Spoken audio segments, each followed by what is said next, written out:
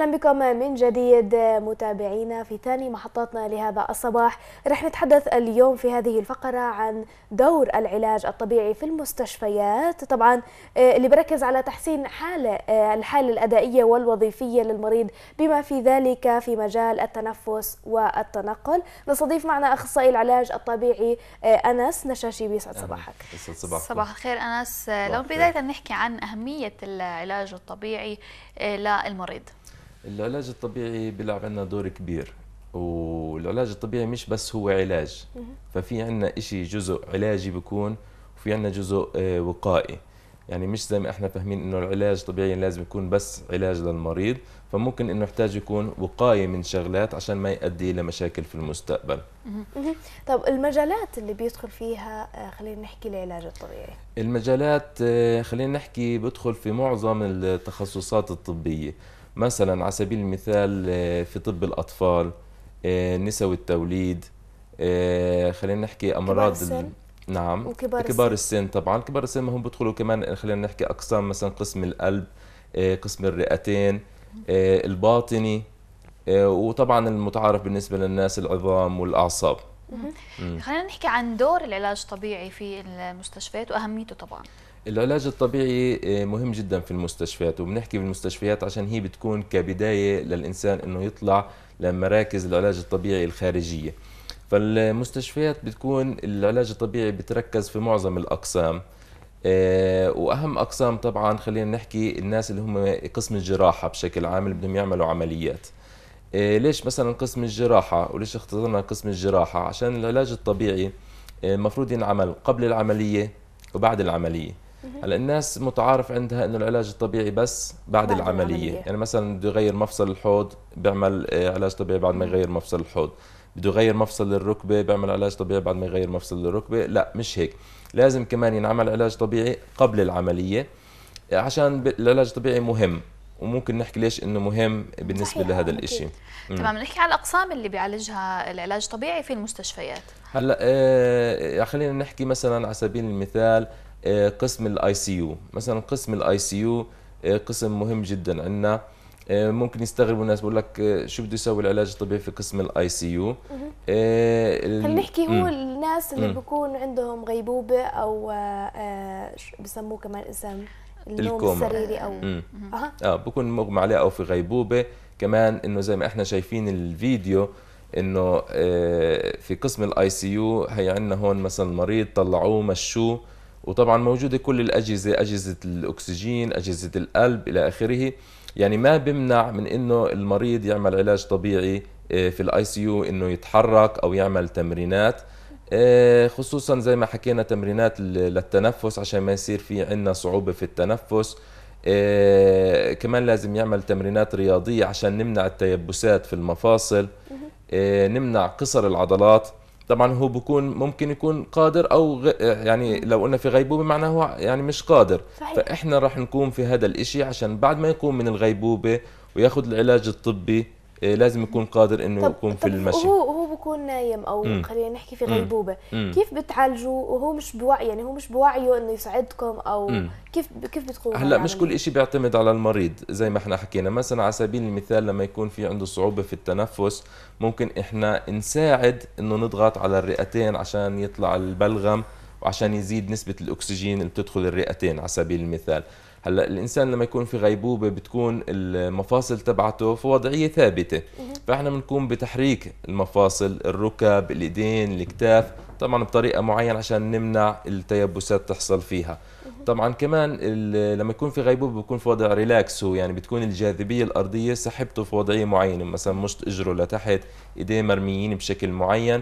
فإحنا لازم إنه نطول العضلات نطولها. عشان بصير هي في وضعية قصر إحنا لازم نطول العضلات.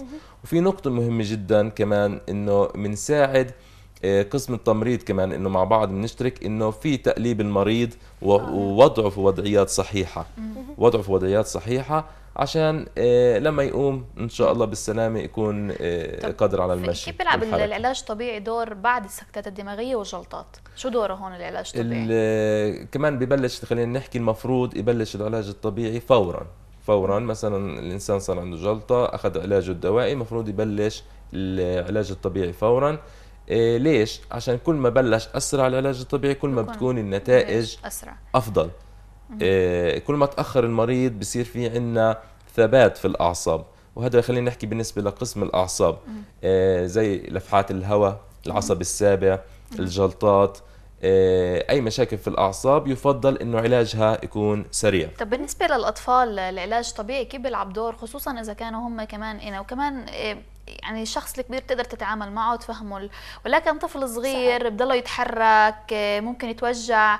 كيف العلاج الطبيعي ممكن يسهل على المريض الطفل إيه، إيه، يعني من حالته المرضية؟ هلا بالنسبة للأطفال عادة خلينا نحكي بأطفال الخدج أكثر شيء اللي بيكونوا في المستشفيات على سبيل المثال. هدول الأطفال بده يكون التعامل معهم يعني تعامل حذر وتعامل لطيف جدا. يعني لازم يكون الواحد حذر جدا معهم الأطفال. طبعا آه، أهم شيء يعني لازم نعمل تحفيز للأعصاب تبعون الأطفال نحرك لهم الأجزاء عشان بيكونوا لسه مش مكتملين. فإحنا بنساعدهم إنهم يكتملوا الأطفال. آه، هلأ بعد خروجهم من المستشفى كمان بيستمر العلاج التأهيلي في مراكز التأهيل.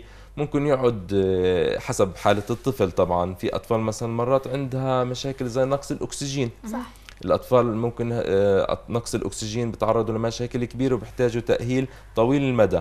فعشان هيك لازم يكون العلاج الطبيعي يبلش آه، بكير إيه، أنس خلينا نحكي عن كنا نحكي قبل شوي عن العلاج الطبيعي قبل إجراء العملية. قديش مهم وليش لازم آه، ينعمل علاج طبيعي قبل العملية؟ آه خلينا نحكي على سبيل المثال في عملية تغيير المفصل الحوض. آه مثلا قبل العملية لازم آه نخلي المريض يعمل تمرينات عشان يقوي عضلاته. عشان بعد العملية طبعا راح يكون إنه نايم في التخت وراح بعد العملية مع الجراحة بتقل قوة العضلة. فإحنا قبل العملية بنزيد قوة العضلة على سبيل المثال لو رفعنا قوة العضلة من 50% ل 80% فبعد العملية هي وصلت مثلا نقول 40% هو حافظ على 40% بيقدر يمشي فيهم. بس إذا كانت قوته ضعيفة الإنسان وصار له فترة بتعرف ما دام بده يغير مفصل الحوض هذا أكيد, أكيد إنه تعبان. كان تعبان وأكيد كان إنه ما يمشي يعني كانت عضلاته ضعيفة أكيد فلازم إنه نعمل له هاي التمرينات وطبعا مش أي تمرينات تمرينات يعني بتكون خصوصي دقيقة، آه. ودقيقة لهذا المريض عشان نقوي له طب عضلته انس في في حال بس دو- ديالا شيء بسيط كنت حابة أسأله بخصوص عملية تغيير المفصل أنت قلت أكيد هو يعني كان تعبان. فأكيد هو بحاجة قبل العملية. نعمل له. آه، يعني تمرين لل- للعضلات. طب في حال وصل متأخر يعني كان وصل لمرحلة مش قادر عن جد يتحرك مم. وبس لا ضروري يعني إجراء هاي العملية. مم. في هاي الحالة وهو كتير يعني عضلته كتير ضعيفة مم. فبالتالي هو لما بده يعمل عمليه رح يفقد كل آه، قوته صحيح؟ مم. في هاي الحالة شو ممكن يعني؟ آه، عشان هيك قلنا في تمرينات ولازم يكون الأخصائي تمرينات دقيقة مش أي تمرينات. يعني ممكن تمرينات متعارفة عند الناس إنه يمسك وزن ويحرك أو إنه يحرك خلينا نحكي الإجر عكس الجاذبية. يعني تمرينات الناس تتخيل إنه التمرينات العلاجية آه، زي اللي بتكون في الرياضة. لا في تمرينات بنسميها تمرينات ثابتة تمرين اللي هو static exercise static exercise إنه ممكن الإنسان يسوي انقباض في العضلة من غير ما إنه يحرك المفصل. يعني انقباض انبساط انقباض انبساط. هذا أبسط التمرينات. فهيك إحنا بنكون قوينا العضلة وما أثرنا على المفصل أو خربنا مفاصل طب ثانية قديش أهمية ال- اللي يكون في بين ال- الدكتور اللي مشرف على حالة المريض آه، بأي نواحي مع يكون في تواصل آه، ب- مع العلاج الطبيعي؟ إنهم يكونوا فاهمين أدوار بعض وقديش كل واحد آه، عشان يط- يطلع العلاج منيح وباقصر فترة ممكن. لأنه لما يكون المريض يعني تعبان في وجع صحيح. فقديش كمان يكون كمان من ناحية نفسية ومن من ناحية علاج طبيعي يكونوا هذول كلهم متكاملين مع بعض عشان يخففوا على المريض صحيح. ويخلصوا العلاج بشكل أسرع كمان. هذا ال- يعني هذا بيلعب دور مهم. لازم يكون في كونكشن كتير بين كل الطاقم الطبي مش بس بين الطبيب والعلاج الطبيعي بين كل الطاقم الطبي. لازم يكون في دراسة لحالة المريض وكل واحد إنه يعني دور. يحدد دوره بالنسبة للمريض. فلازم يكون في connection عشان من ناحية علاجية ممكن على سبيل المثال العلاج الطبيعي بده يجي يعمل علاج طبيعي مثلا آه، لأي مشكلة طبية. تحتاج على سبيل المثال ممكن إبرة أو دواء أو مضاد التهاب في نفس الفترة اللي لازم ياخذ فيها علاج طبيعي. فإذا كل قسم بده يشتغل لحاله هون بنصفي في عندنا مشكلة إنه أخذ علاج طبيعي فيش تحسن بعدين أخذ دواء فيش تحسن فلازم يكون في connection كمان أنا بحب أحكي كمان شغلة مهمة يعني بالنسبة لقسم الحروق كمان. قسم الحروق بالنسبة للمستشفيات. بالضبط. بالضبط. قسم الحروق آه، وإحنا طبعا في فلسطين معرضين لمشاكل كثير حروب آه، إلى آخره. ففي ممكن نتعرضوا لحروق عندنا. فطبعا العلاج الطبيعي لازم يكون في قسم الحروق من أولها. يعني يبلش على طول مع المريض. طبعا بيكون مؤلم بالنسبة للمريض. بس إذا قلنا ليش لازم يكون في علاج طبيعي؟ على سبيل المثال آه، الحروق عند المفاصل. مثلا إذا كان في عندنا حرق في الإيد والمريض بيكون متوجع فشو بيسوي؟ بشد إيديه لجوا. بالتالي بالضبط. إذا ما كان في علاج طبيعي يومين ثلاث بصير في عندنا التصاقات وبصير في عندنا تشوهات مزمنة. وهون صفينا إنه التشوه المزمن صفى مشكلة في المجتمع عندنا تمام. أنس يعني فيما يتعلق بآليات العلاج خلينا نحكي ومع التطور أكيد التكنولوجي آه، والعالم الحديث خلينا نحكي أكيد ظهرت خلينا نحكي دراسات جديدة أو أو خلينا نحكي آليات جديدة في طرق صحيح. العلاج الطبيعي. خلينا نحكي عنها. هلأ العلاج الطبيعي آه، قديما كان بيعتمد على العلاج اليدوي. أكثر يعني شيء آه، مساج. مساج وفي الإيد وتمرينات إلى آخره. اليوم مع التكنولوجيا صار في عندنا أجهزة جديدة أجهزة مثلا موجات كهرومغناطيسية ultrasound الموجات فوق صوتية الأشعة الحمراء. آه، طبعا هذه كلها بتلعب دور في العلاج. آه، طبعا في شغلات ضرورية مثلا على سبيل المثال يعني المساجات أو الحرارة كيف كانوا بحطوا قرب سخنة وشغلات بسيطة هذه تعتبر حرارة سطحية. بس مرات إحنا بنحتاج إنه ندخل أقوى. علاج أقوى ويكون deep في العمق داخلي زي حالات الديسكات اللي بنعالجها زي إنه من الموجات توصل للمفصل نفسه من جوا فبنحتاج نستخدم التكنولوجيا زي ال ultrasound خلينا نحكي هي بشكل أسرع بتساعد التكنولوجيا ولكن أس... هل مم. بتلاقي إنه أفضل الواحد يعتمد على العلاج الط... اليدوي؟ إيه إحنا ما بنقدر نقول أو نتائجه يد... يعني خلينا نحكي بيكون أفضل مم. على المدى البعيد. إحنا ما بنقدر نقول يدوي أو تكنولوجيا هو لازم يكون في إيه برنامج حسب حاجة المريض مم. حسب حاجة حسب المريض. كل حالة. بالضبط يعني في حالات ممكن تكون بس محتاجة علاج يدوي. وشغلات بسيطة وتمرينات فبتكون كافية. بس في حالات بتكون محتاجة إنه ندخل التكنولوجيا عشان نعالج فيها. فهي بتعتمد على حالة المريض. نعم. م. أنس كمان آه، فيما يتعلق بالمرضى آه، خلينا نحكي يعني أصعب الحالات اللي ممكن يكون فيها علاج طبيعي. ونسبة الشفاء خلينا نحكي من خلال إذا الواحد واظب عن جد على العلاج الطبيعي وما خلينا نحكي قطع أو بطل يروح أو آه، أو هيك. قد إيه, بتكون نسبة الشفاء 100% من هذا خلينا نحكي كل واحد حسب آه، إيش بيعاني. هو بالنسبة خلينا نحكي آه، أكثر مرضى يعني ممكن يحتاجوا العلاج الطبيعي للجلطات موضوع الجلطات. وعندنا في بلادنا والديسكات خلينا نحكي هدول الموضوعين.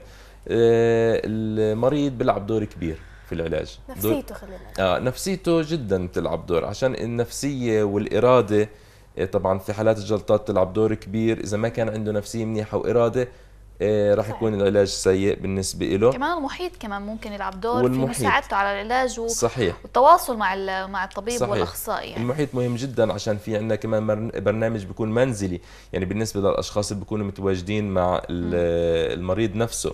فعشان هيك آه، كل ما كان نفسيته أحسن كل ما كان مشارك في العلاج كل ما كمان متعاون, متعاون في التمرينات اللي إحنا بنعلمه إياها فبتكون النتائج أفضل. أفضل نعم. كثير يعني. يعني خلينا نحكي نسبة مم. الشفاء آه، أو التحسن بتكون عالية. مم. بتكون نسبة أعلى جدا. مم. وبالنسبة مثلا لحالات الديسكات آه، كمان آه، ما بزبط إنه مثلا المريض يعمل علاج وإنه مثلا حركات بالضبط. أو إنه يكون في حركات غلط. حركات غلط أو تمرينات صعبة.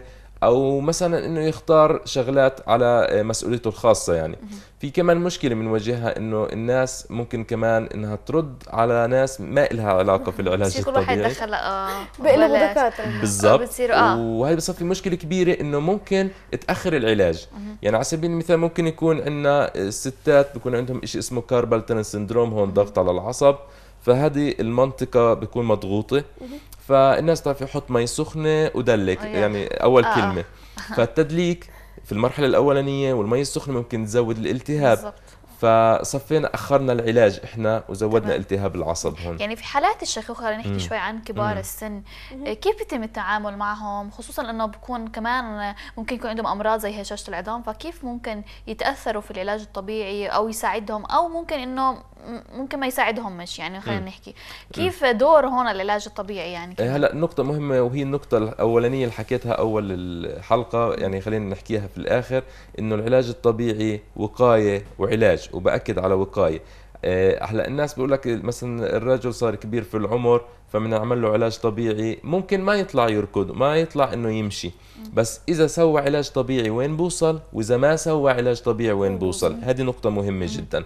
فإحنا بهمنا كمان الإنسان يستمر في حياته الإنسان الكبير في العمر من غير مشاكل مستقبلية آه، من غير آه، يعني مشاكل تؤدي يصير عنده أوجاع آه، فعشان هيك العلاج الطبيعي بنفهم أهل المريض والمريض نفسه إنه في شيء اسمه وقاية بالنسبة مم. للوقايه يعني تعقيبا على هذا الموضوع قديش يعني حتى لو واحد ما عنده أي أمراض مم. أو خلينا هو يعني شاب صغير مم. أو فتاة صغيرة مم. ولكن بروحوا على يسووا مساجات. هل هذا جلسات جلسات علاج طبيعي أو مش جلسات علاج طبيعي جلسات مساج. هل هذا مهم؟ أو هل بضرهم؟ بضرهم. هل بضرهم؟ هاي نقطة مهمة جدا. آه، بالنسبة خلينا نحكي الوقاية بالنسبة للشباب. بالنسبة للوقاية للشباب لازم آه، خلينا نحكي يبعدوا عن الباد هابتس العادات السيئة في القعدة في الشغل. آه، كل مهنة طبعا لها مشاكلها. صح. وقعدتها إلى آخره فهو لازم يعرف إنه كيف يقعد في الوضعية المناسبة آه، كيف إنه آه، مثلا شو التمرينات المناسبة اللي ممكن يعملها أثناء العمل كمان. آه، هلأ بالنسبة مثلا الوقائي خلينا نحكي إنه بده يعمل علاج طبيعي وقائي بالنسبة لأي إنسان لأي إنسان زي طب الأسنان مش المفروض يروح عند الدكتور. بالضبط أو إنه لما يتألم. فلازم يروح يسوي check up على نفسه. عشان ممكن يكون على سبيل المثال عنده تشنجات عضلية عنده كتف أعلى من كتف آه عنده ممكن يكون إجر اقصر من رجل مثلا. وهو مش, مش عارف شو المشكلة اللي عنده فلازم يعمل check up على نفسه وهون الدكتور ممكن يحدد له شو المشكلة وهو طبعا فيش عنده أعراض لسه.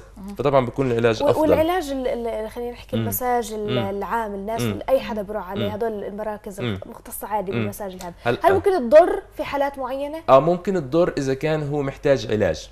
يعني مثلا إنسان عنده تشنجات عضلية وبفكر و... إنه رح يرخو يعني بالضبط ومحتاج إنه يكون ياخذ علاج طبيعي وهو بالنسبة له قال أنا بدي أروح أعمل مساجات فإحنا استرخاء يعني, يعني هم است... بتكون رايحة لمجرد استرخاء. هو استرخاء في بكون عندهم ألم شوي بظهرهم. ف... بفكروا إنه عادي ممكن يروحوا لمساج ممكن يضرهم صحيح؟ هو الاسترخاء آه، طبعا حسب نوعية المساج إحنا بنحكي. الاسترخاء المفروض ما دام قلنا استرخاء يكون soft massage. يعني ما يأثر على أي حدا ممكن كل أي إنسان حتى لو عنده مشاكل إنه يعني يستجم فيه.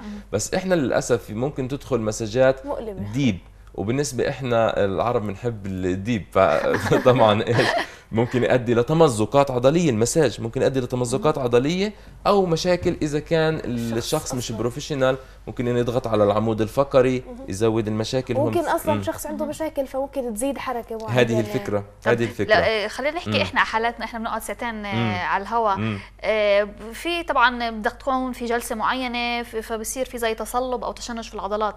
شو إحنا الخطوات؟ وإحنا حتى في الاستوديو يعني ممكن يعني نعملها. الخطوات أول شيء أنا كل شوي بعمل هيك. أول شيء غيرتوا الديكور يعني ألف مبروك.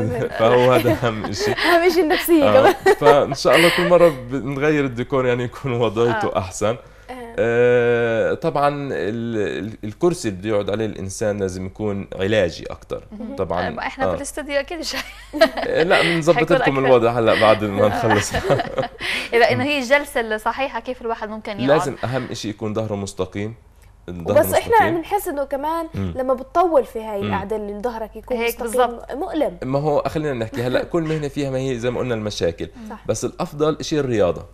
الرياضة أهم شيء يعني اللي بيلعب رياضة بقوي عضلاته حتى لو قعد قعدة مش مستقيمة آه، جسمه رح يتحمله. صحيح. بس إذا ما عنده قوة مش رح يستحمله جسمه. نصائح أخيرة بتحب تحكي لنا إياها أنس؟ آه، أهم نصيحة دائما بحكيها إنه استشارة أخصائي العلاج الطبيعي في أي مشكلة وإنه ما يتردد في إنه يستشير عشان ممكن عدم الاستشارة تؤدي لمشاكل أكبر. أه وبتمنى السلامة للجميع. نعم. شكرا لك أنس نشاشيبي اخصائي العلاج الطبيعي العفو. مشاهدينا نتمنى لكم أكيد السلامة دائما. ننتقل لفاصل وبعدها رح نكون مع فقرة لوجن ابقوا معنا.